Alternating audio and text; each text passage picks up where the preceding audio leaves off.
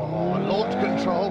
That means 0 to 60 in 3.7 seconds, and this one will do 174 miles an hour. Yeah, the TTRS.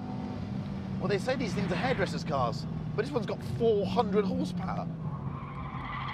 And sort of still understeers. That was a bit more neutral, but the dreaded H word is still here, Haldex. You know what Haldex is, don't you? It's the four-wheel drive system they use in the Golf.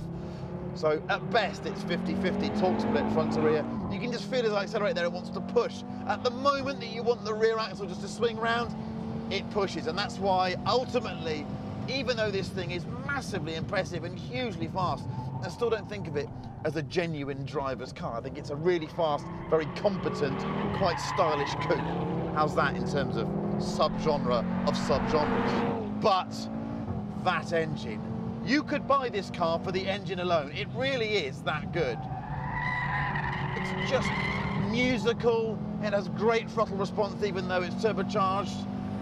It's one of the best production car engines I've driven in a long, long time. I think it's such a great surprise. It almost makes the entire car.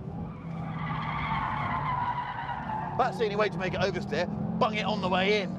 So yeah, it's a um, it's a hairdresser's car, but just one with a massive um,